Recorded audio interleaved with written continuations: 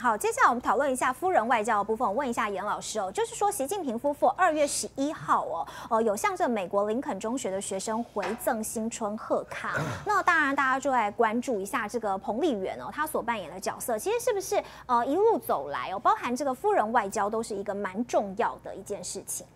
我们看就是尹锡月啊，每一次出去大概。他那个漂亮的太太都会跟着啊，那是确实是有一些帮助。那彭丽媛过去不太多，但是上一次在旧金山他有去嘛，哦，那就感觉上嘛会比较积极一点。呃，拜登的这个我太太就是拜登的夫人啊，她是呃只能帮拜登去单独去非洲去啊，就是或者有些场合他等于是拜登年纪大不能够去的，他会单独去。那这个是我们现在看到。在亚洲地区啊，这个第一夫人比较少做的，像比如啊，就是你应该是可以单独来做外交，哦，那过去 Michelle 那个奥巴马也是会如此啊。那这一个，那现在看起来大陆还没走到这一步，还是好像就是这个国家领导人的跟着来做啊。那其实你知道，第一夫人哦，过去他们都会。在美国的话，都会就就是他会选一样他想要做的事情，嗯。啊，譬如可能是帮助弱势的，可能是帮助这个，就是说呃，我们讲说提高这个识字率啊，帮小孩念书啊什么等等，或者有一个像克林顿，就是希拉蕊一上来的时候，他觉得他要关心的是这个鉴宝啊，都都可以找一些，但鉴宝这个议题稍微大强了一点，所以后来他也失败了。如果你找一个软性的议题，我觉得也可以啊。甚至我觉得像彭丽媛，如果要找他，应该可以找一个比比较去关心一些软性的议题，像呃奥巴马的这个 Michelle 奥巴马，他就是去关心在战争当中后遗症，嗯，啊这些军人退役军人的这个后遗症的问题，他会去关心。所以应该是要找一个议题。那我觉得中国你应该去，中国有很多的议题是可以关心的。包括现在他们自己啊，这些年轻人到了都会找不到工作，我觉得这个时候应该会去是有一些议题可以去找。但是如果是只是跟着啊这个中这个主国家主席一起出访，我觉得这个做的还是不够啊，就是应该要跨出更多。那我觉得同样的，尹锡悦的太太也是应该要要做更多的事情。就是韩国这样子贫富那么差距这么大，然后韩国也是有很多这一方面的问题。哦，他那他应该可以去找，找一个稍微软性一点的议题都可以啊，然后来展现他啊，在这个政府当中可以扮演一个啊配配合。总统或者配合国家领导人的一个角色。嗯，好，接下来呢，我们来看一下这个艾斯摩尔。二月九号，晶片制造设备上，艾斯摩尔首度展示他们新一代的这个极紫外光微影设备，就是所谓的 EUV 哦。这个大小大约是一辆双层巴士，价值是大约是三点八亿美元，可以在这个八纳米半导体上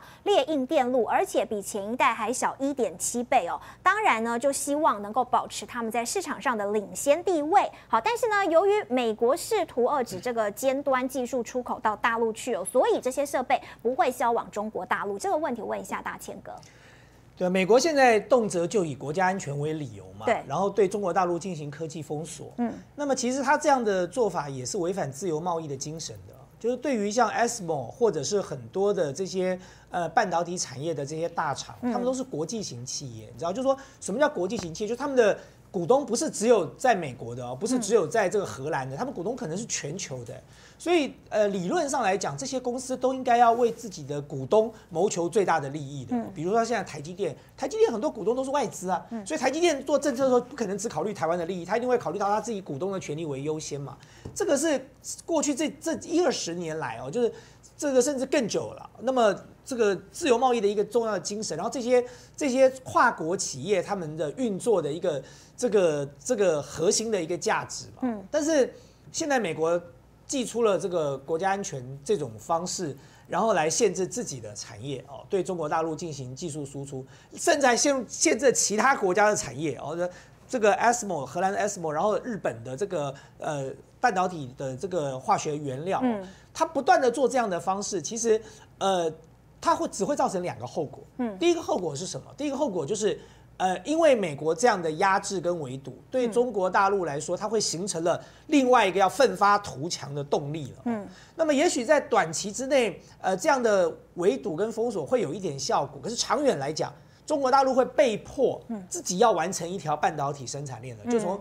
半导体设计啊，什么相关的这个制造的流程，一路到这个 EUV 或者是 DUV 的生产，它都必须要做得出来，否则接下来它可能就就会面临到半导体的这个呃缺乏的困境。嗯，所以你说中国人做不做得出来？其实我对中国大陆很有信心的原因是我一直在讲，中国大陆有十四亿人，美国加上欧洲，它全部的盟友加起来都还没十四亿人。你说中国大陆那十四亿人比不过那那些国家吗？我不认为啊，那只是因为过去。在一个全球分工的情况之下，他们没有必要去做这些事情，他们可以去做对他们有这个他们更更擅长的事情，而把这些工作丢到其他的国家，然后借由自由贸易的方式来取得啊。可是现在你被逼着就是我要自己生产嘛，哦，那么所以接下来中国大陆现在正在做，他正在做半导体图强的这个过程了。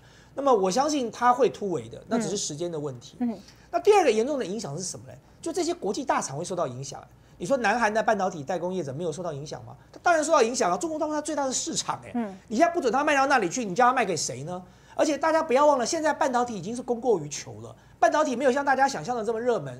所以疫疫情过完之后，这半导体的这个需求量曾经有一度到高峰，然后现在开始往下走，走的原因就是因为现在供过于求，库存量太高了。哦，那么如果你再叫这些大厂说不准卖到中国大陆去，那你叫他卖给谁？包含现在 ASML。ASML 最主要的大客户就是中国大陆，嗯，然后你现在说它不可以卖到中国大陆去，好了，它就算有一个最新的 EUV，小到像一台巴士，不要说像巴士，小到像一台冰箱这么小，好不好？它都没地方可以卖啊，它卖给谁呢？嗯，这才是一个最大的问题。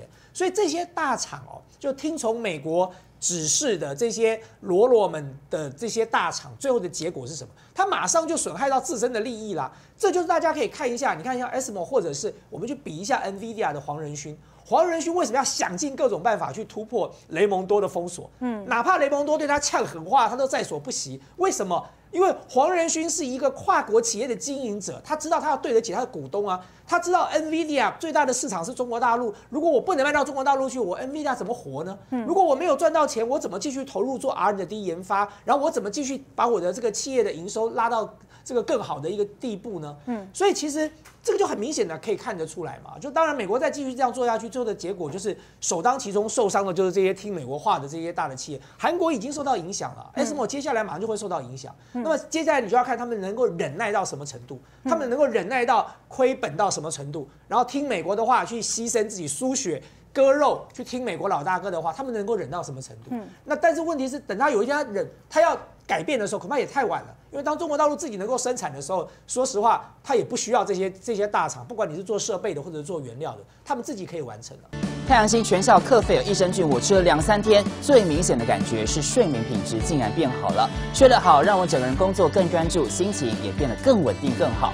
因为太阳星全效克菲尔益生菌，才让我认识到克菲尔益生菌，它是由多支菌种的益生菌所组合而成，不仅能够维护消化道机能正常运作，还拥有多种有益健康的保健功能，相当强大。你知道吗？有台大教授专门研究它，称它是神仙的礼物。上千篇的国际研究证实，克菲尔益生菌不仅帮助肠道健康，肠道菌透过肠脑轴影响全身器官，所以维持肠道菌丛的平衡是解锁身体健康、精神健康的钥匙。对帮助睡眠、维持好情绪真的很有感。也因为这不是药，有季节敏感、代谢困扰。关心恶性细胞风险的好朋友，选择太阳星全效克菲尔益生菌，做好日常的保养，身体健康没负担。每日克菲尔时刻美好，Good Feel Feel Good，请上快点购健康下单，输入推荐代码有额外的折扣。